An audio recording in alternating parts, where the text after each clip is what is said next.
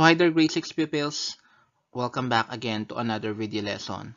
So we are now on week 7 for grade 6 mathematics quarter 1. So for this video lesson, we will now proceed to another operation. So ito na po yung last operation natin for decimal which is division of decimals. So for this video lesson, we will be dividing whole numbers by decimals up to two decimal places and vice versa. And then, we will also divide decimals and mix decimals up to two decimal places. So for our lesson objectives, at the end of this video lesson, you are expected to divide whole numbers by decimals up to two decimal places and vice versa. So, i-discuss natin dito kung paano mag-divide ng whole number by a decimal and then kung paano mag-divide ng decimal by a whole number. Kaya nga po meron tayong vice versa. And then, up to 2 decimal places lang po. Hanggang hundredths place lang. And then, also, uh, tuturuan ko din kayo kung paano mag-divide ng decimals and mix decimals up to 2 decimal places. So, kung meron tayong uh, ituturo kung paano mag-divide ng whole numbers by decimals and vice versa, so tuturuan ko din po kayo kung paano mag-divide ng decimal by another decimal. So, here are the steps in dividing a decimal by a whole number. So, ang una muna nating i-discuss is yung process or yung steps kung paano mag-divide ng decimal by a whole number. So here is the question. What is 4.8 or 4 and 8 tenths divided by 6? So yung 4.8 po dyan, yun po yung decimal po. Meron po siyang decimal point, kaya considered siya as decimal number. And then yung 6, ito naman po yung whole number. So in step 1 natin, kapag nagde-divide tayo ng decimal by a whole number, Place the decimal point in the quotient directly above the decimal point. So, i-rewrite natin yung ating given.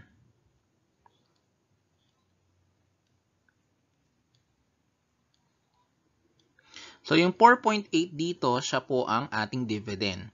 And then, kapag sinulat natin siya, using uh, yung long division method natin, of course, yung 4.8 or yung 4.4 and 8 tenths, isusulat po natin sa loob ng division sign. And then, yung 6 naman, ito naman po yung divisor. Kaya isusulat po natin siya sa taas.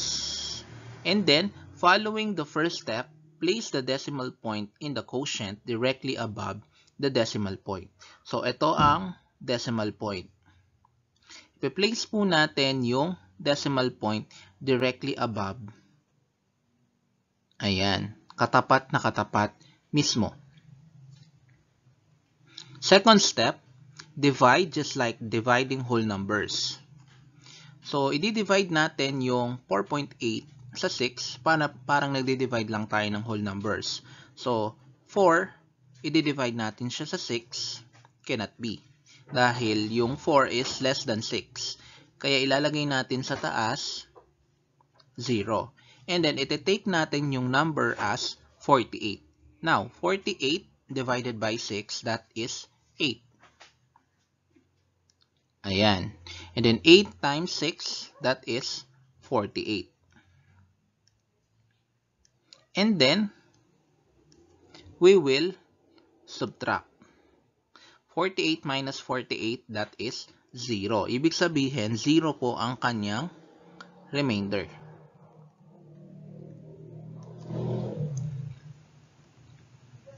And then, insert zeros to the dividend when needed. So, mamaya magdi-discuss tayo ng mga examples na kung saan kailangan nating mag-add ng zeros dun sa dividend. Now, our answer is 0.8 or 8 tenths. So, to check if our answer is correct, 0.8 or 8 tenths, imo-multiply natin by 6. 8 times 6, that is 48. So, isusulat natin 8 and then carry 4. 0 times 6, that is 0 plus 4, 4. And then, bibilangin natin yung decimal place dito sa ating mga factors. Meron lang po tayong isa. So, magmove tayo ng 1 decimal place to the left. 1. So, our final answer is 4.8 or 4n 8-tenths, which is, yun po yung ating dividend. Therefore, yung ating quotient is 8-tenths or 0.8. This is correct. Another example, 38.2 or 38 and 2 tenths divided by 8. So, ganoon pa rin yung ating uh, step 1. So, rewrite lang natin.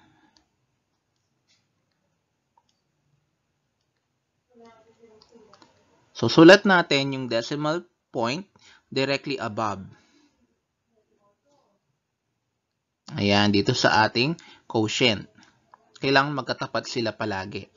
And then, second step, divide just like dividing whole numbers. So, 3 divided by 8 cannot be. So, iti-take natin yung 38. Now, 38 divided by 8, that is 4. So, meron po tayong apat na 8 na pwedeng kunin sa 38. So, 4 times 38, that is 32. Next, we will subtract. So 8 minus 2, that is 6. And then, we bring down 2. Next step, i-divide naman ngayon natin yung 62 by 8. So how many 8s are there in 62? We have 7. So 7 times 8, that is 56.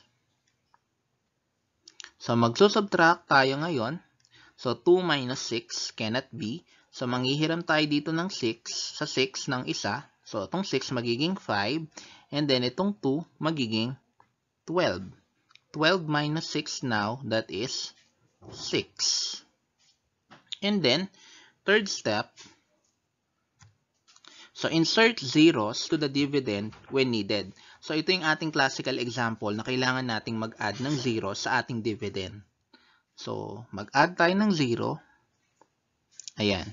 And then, yung in-add nating 0, bring down natin.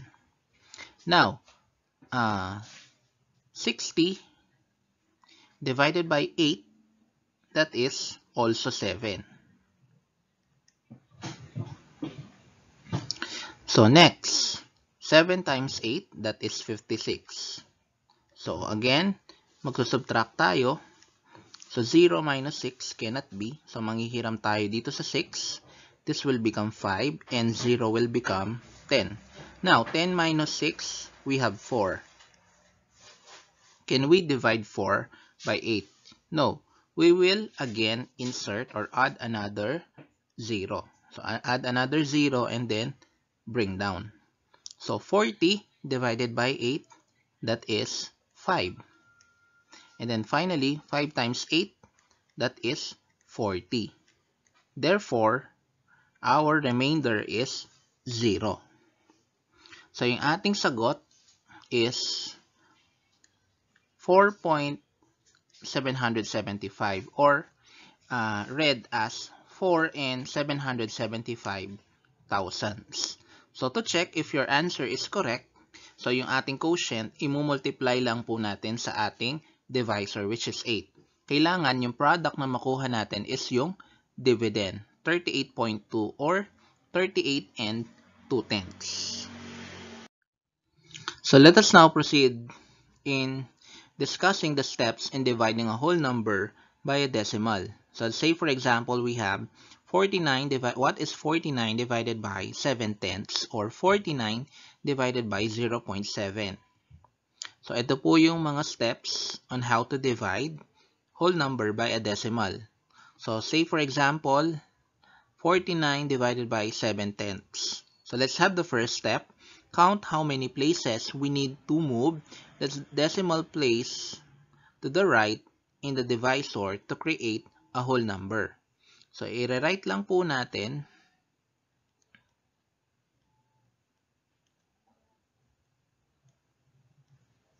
Ayan. So, and then, dun sa decimal point, uh, point po doon sa divisor, mag-move tayo to the right para mag-create ng, makakreate ng whole number. So, as long as hindi pa tayo nakakakuha ng whole number, uh, kailangan pa rin po nating mag-move. So, i-move natin to the right. So, ayan. Upon moving, nakakreate tayo ng whole number which is 7. And then the second step, move the decimal this many places to the right in both the divisor and the dividend. This will require adding zeros to the end of the dividend. So kung ilan ang minove natin na decimal places doon sa divisor, yun po ang bilang ng zeros na idadagdag natin doon sa dividend, yung number na nasa loob. So in this case, isa lang naman po ang ating minove. So mag-add po tayo ng isang 0. So, magiging 490 na siya. So, i-write lang po natin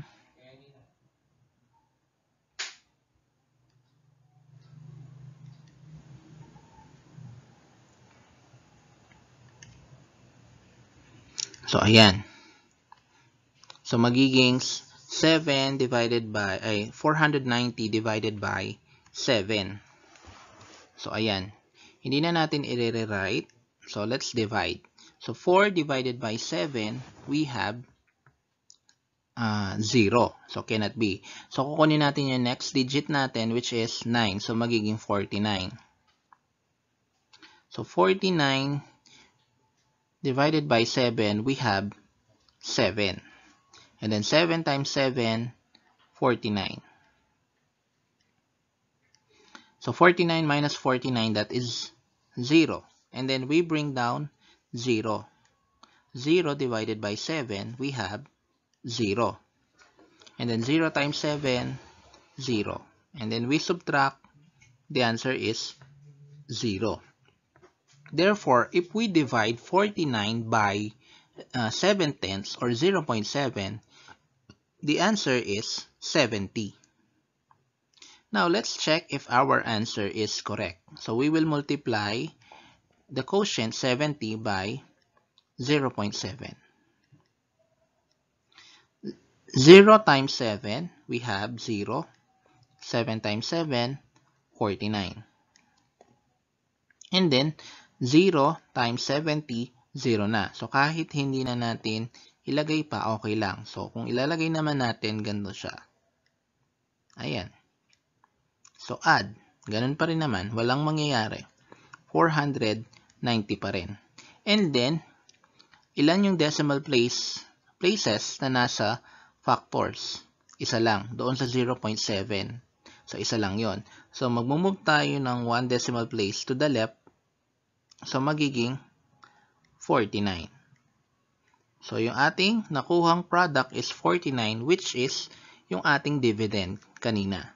So, therefore, 49 divided by 0.7, the answer is 70.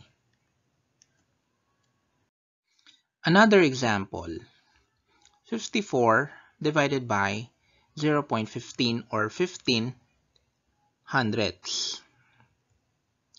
So, same steps pa rin naman. So, rewrite lang natin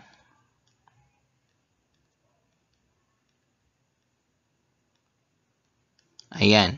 And then, magmumove tayo ngayon ng decimal places to the right doon sa divisor. So, ilan ba? Let's count. 1, 2. So, upon moving two decimal places to the right, naging 15 na, which is a whole number. And then, yung ating minove is dalawa. Mag-add ngayon tayo ng dalawang 0 dito sa ating dividend. So, pwede na ngayon tayo mag-divide. 5 divided by 15 cannot be. So, kukunin natin yung next digit which is 4. So, magiging 54. Now, 54 divided by 15, we get 3. 3 times 15, we have 45.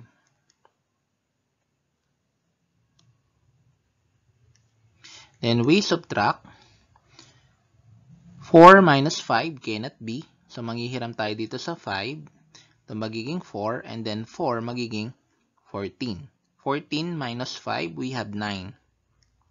4 minus 4, 0. And then, we bring down 0. 90 divided by 15, we have 6. 6 times 15, 90. And then, uh, subtracting 90 by 90, the answer is 0. So, i-bring down natin yung last na 0. 0 divided by 15, that is 0. Therefore, our answer is 360. So, 54 divided by 0.15 or 0.15, the answer is 360. Now, to check if our answer is correct, just simply multiply 360 by 0.15 or 15 hundredths. Kailangan ang makuha nyo pong sagot ay 54. Otherwise, your answer is incorrect. So last uh, discussion natin is yung steps in dividing a decimal by another decimal. So tapos na tayo dun sa whole number by a decimal, decimal by a whole number. So ngayon naman, decimal by another decimal. Say for example, what is 32.4 divided by 1.2 or 32 and 4 tenths divided by 1 and 2 tenths. So yung mga steps natin, first step, change the divisor as a whole number by moving the decimal point to the right. So i-write lang natin yung ating given.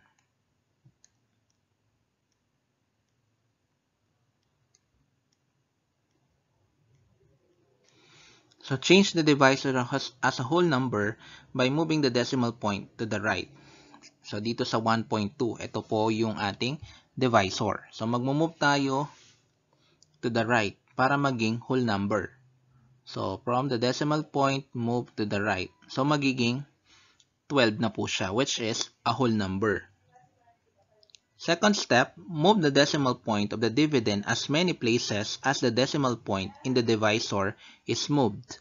So, ibig sabihin po, kung ilang decimal places ang minove natin doon sa divisor, yun din po ang bilang ng uh, decimal places na imumove natin sa ating dividend, which is 32.4. So, dahil isa lang, isa lang din po ang imumove natin. So, from the decimal point, So, magmumove tayo ng isa. So, magiging 324 na siya niyan. So, let's divide. Just like uh, dividing whole numbers and then insert zeros to the dividend when needed. So, there are some example or there are some uh, instances na kung saan kailangan natin mag-add ng zero. So, mamaya meron tayong example niyan.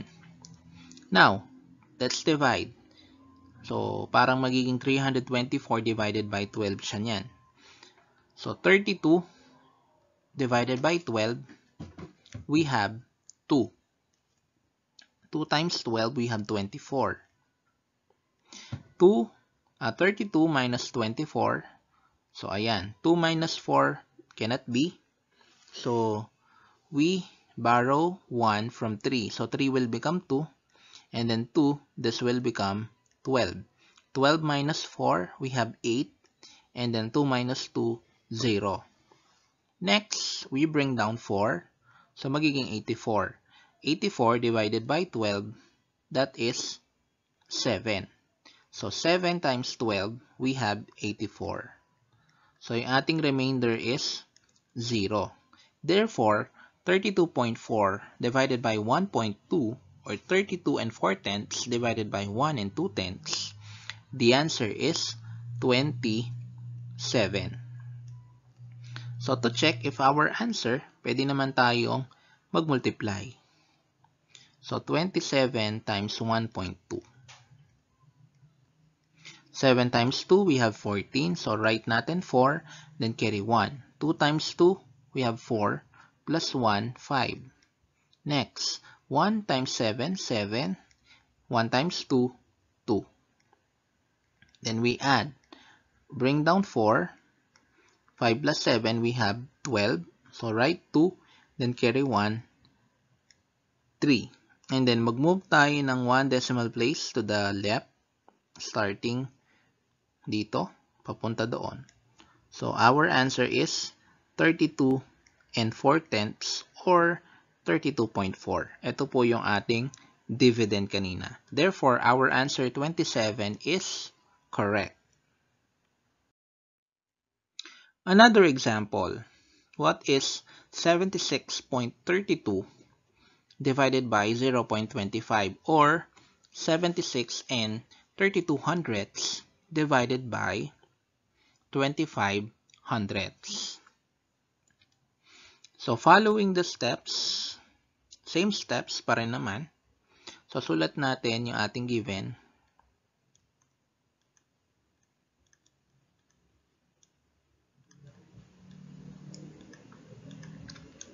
So ayan. Mag-move tayo ng 2 decimal places to the right dito sa ating divisor para maging whole number siya na 25. And then, yung second step natin, kung ilan ang minove natin dun sa divisor na decimal places, ganun din ang bilang ng imumove natin dun sa dividend. So, dalawa din po. Ayan. So, dito na yung ating decimal point. Now, let's divide 76 divided by 25 we have 3. Kasi 7 divided by 25, hindi naman pwede. So, kinuha natin yung next digit na 6. Kaya naging 76. So, 3 times 25, we have 75. Now, let us subtract. 6 minus 5, 1. 7 minus 7, 0. And then, we bring down the next digit, which is 3. 13 divided by 25, we have 0. Kasi, 13 is less than 25. So, 0 times 25, that is 0. So, magiging 132. Kasi, bring down natin yung next digit, which is 2. So, magiging 132. 132 divided by 25, we have 5. So, limang 25 ang pwede nating kunin sa 132. And that is 125. Next, 2 minus 5 cannot be. So, manghihiram tayo. So, 3 will become 2 and then 2 will become 12. 12 minus 5, 7. 2 minus 2, 0. Now, insert 0 to the dividend when needed. So, try nating magdagdag ng 0. So, dito yung ating decimal point. Isusulat po natin yung decimal point doon sa ating quotient katapat mismo. And then mag-add tayo ng 0. Yung bring down natin, magiging 70. So 70 divided by 25, we have 2. 2 times 25, that is 50. And then mag-subtract ngayon tayo, 0 minus 0, 0. 7 times 5 ay 7 minus 5, we have 2. And then, we can, we can add another 0. So, magiging 200. 200 divided by 25 will have 8. And then 8 times 25, that is 200.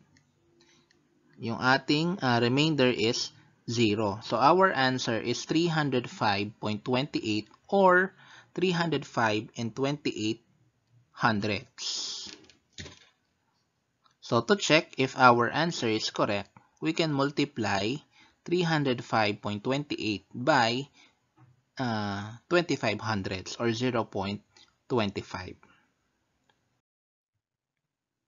So for the next video lesson, we will be dividing decimals up to 4 decimal places by uh, 0.1, 0.01, and 0.001 or 1 tenths, 1 hundredths, and 1 thousandths. And then, we will be also dividing decimals up to 2 decimal places by 10, 100, and 1,000 mentally. So, meron tayong technique na ituturo dyan paano mag-divide uh, mentally.